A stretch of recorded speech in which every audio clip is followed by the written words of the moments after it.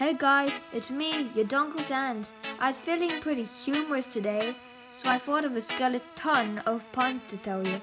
Here we go. Why does the skeleton always tell the truth? I don't know. Why does the skeleton always tell the truth? He wants to be a honest. Oh no. Why did the skeleton start a fight? He had a bone to pick. Why do you do this to me? What's the coolest part of a skeleton? I don't know. The hip. Mm. What Why was the skeleton stupid? Because he was you? No, he was a numbskull.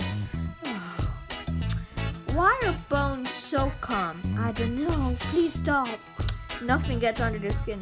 Uh, why did the ske- was the skeleton so lonely?